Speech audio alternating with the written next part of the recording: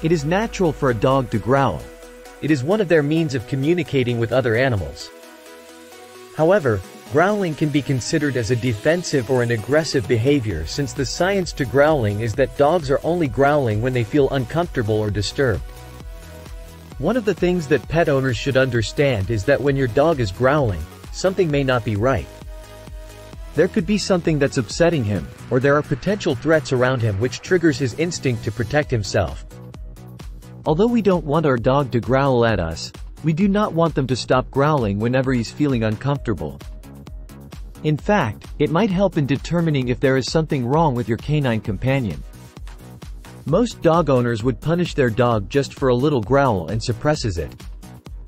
It is definitely bad for the dog as it would prevent your dog's instincts to naturally growl whenever they feel something uncomfortable. This might hinder your close connection with your dog, and he would just be quiet whenever he's not feeling good instead of giving you signs about it. If you encounter your dog growling, don't punish and don't suppress it. Be prepared to follow these 5 steps into stopping your dog from growling. 1. Gauge your dog's tolerance threshold. Usually, the first thing that you would like to do is to determine what makes your dog growl at the moment. However, not all dogs are very obvious with where their uncomfortable feelings are coming from. It is frequently known that dogs will face the trigger first before growling, but if your dog isn't, then it will be quite difficult to determine the trigger. So, we will skip that part, and instead go to gauging your canine companion's threshold. Consider stopping everything that you have been doing and observe instead. If you are with your dog for a long time already, you might notice if his growl threshold and bite threshold are quite near to each other. If that's the case, then you might want to observe a little bit farther from your dog, as it might bite out of instincts. What can anyone do best is to observe and wait until their dog relaxes. You have to take note of the obvious signs of your dog's tense behavior, so that you will be able to know if your dog is no longer growling for some reason. You might want to reinforce the relaxed behavior rather than the growl by moving away only if your dog has stopped growling in front of you. 2. Determine why your dog is growling. As mentioned before, knowing what triggers your dog is essential to solving the current situation. Try to remember what happened before your dog started growling. Did you groom him? Did you try to restrain him? Have you taken something away from him? If your dog is growling all of a sudden, try to remember all of the things that happened beforehand.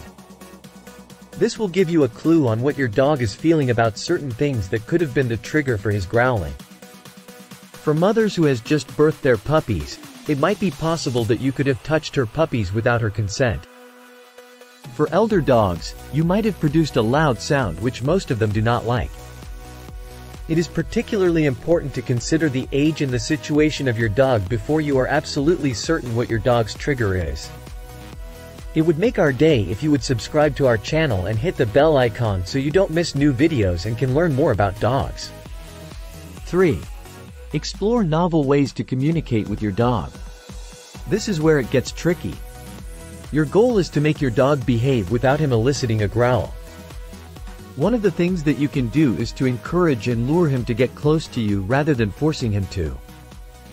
Some dog parents would even physically push or pull him, but it will not help in the behavior training that your canine companion is supposed to have. It is much better to feed him treats while you are petting him, in order for his mind to register that his current behavior is a positive one. If the first plan didn't work, think of other ways to communicate with your dog without him growling at you. 4. Evaluate your dog's stressors and try to reduce them. At this point, you are now almost 100% sure about your dog's triggers. If your dog's growling is triggered by strangers, then it might not be a good idea to invite your friends or any other visitors to your home.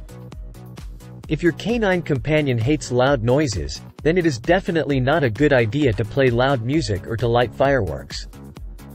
These stressors may cause aggression and could be cumulative in the long run.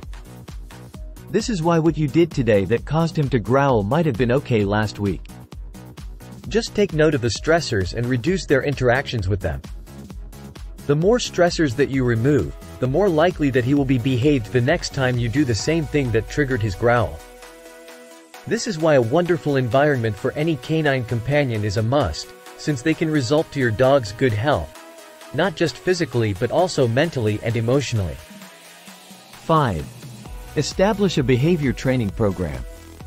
Any dog parent can establish counter-conditioning and desensitization programs that can help convince your dog that the bad thing that he sees is actually a good one. This can absolutely help with reducing your dog's anxieties and perhaps could be helpful in his training in the long run. There are various protocols available of the internet, but it is always recommended to look for a dog trainer who is already experienced with this kind of training. A trainer can definitely give out the best training program that is suited for your canine companion. Be sure to look out for trainers who have experience in behavior training programs, or you might as well ask for recommendations from fellow dog parents in your neighborhood. Thanks for watching the video. Do you want to be a good pack leader and stop your dog's behavioral problems for good? Check out the first link in the description and get your dog training video series absolutely free. Don't forget to hit that like button and subscribe for more dog-related content. See you next time.